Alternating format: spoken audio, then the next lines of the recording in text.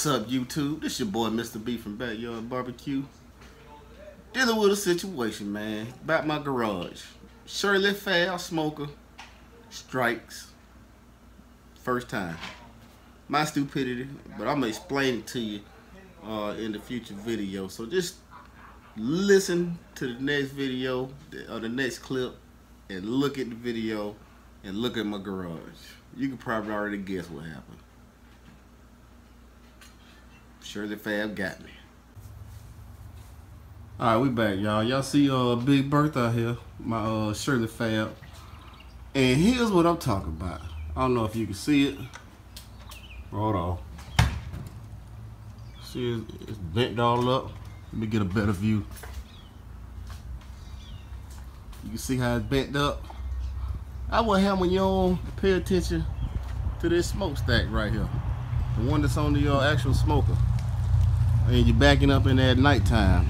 Long story short, uh, I broke the spring in my garage. If you don't know what the spring is for the old school, I don't know if you can see it.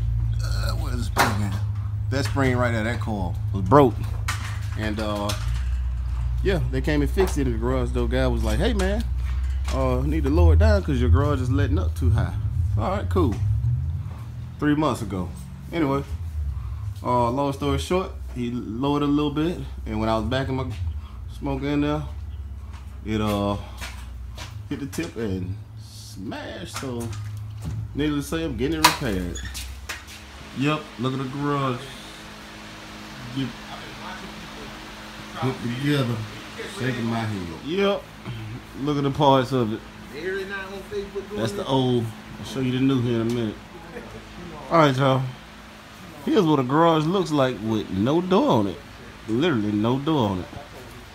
But my garage door open on it. I got my new door. Got a, got a, I ain't gonna say a hookup, but I got a, uh, a hurricane resistant door now, insulated, so now I can leave my door open. My door right there, going into the house, leave it open.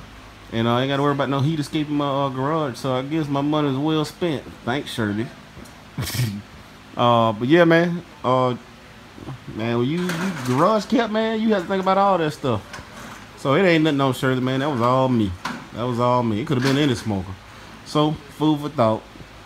I ain't gonna say fun fact. Fun fact for y'all. Dumb fact for me is make sure you measure your smokestack in the lip of your garage. Um, I did in the beginning, but I forgot the uh, the garage door guy had uh, adjusted mine and let it down. I wasn't thinking about the smoker three months later. But anyway, I'll show y'all final the uh, the final door and how it looks here shortly. Stick with me. Alright YouTube, we back. Final product. The door is back up.